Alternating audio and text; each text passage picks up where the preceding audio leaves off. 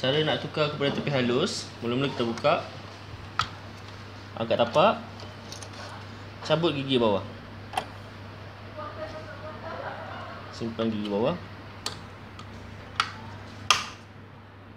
Tutup semula. Kemudian kita perlu tukar tepi ni Kepada R Iaitu rapat. Dan untuk benang belakang Kita set kepada 6 Kemudian cuba jahit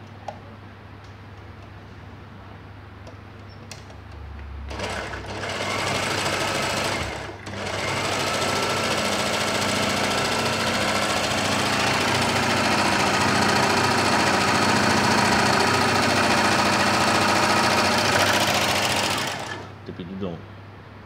Untuk tukar kepada tepi biasa semula angkat tapak buka pasang semula gigi. Tutup.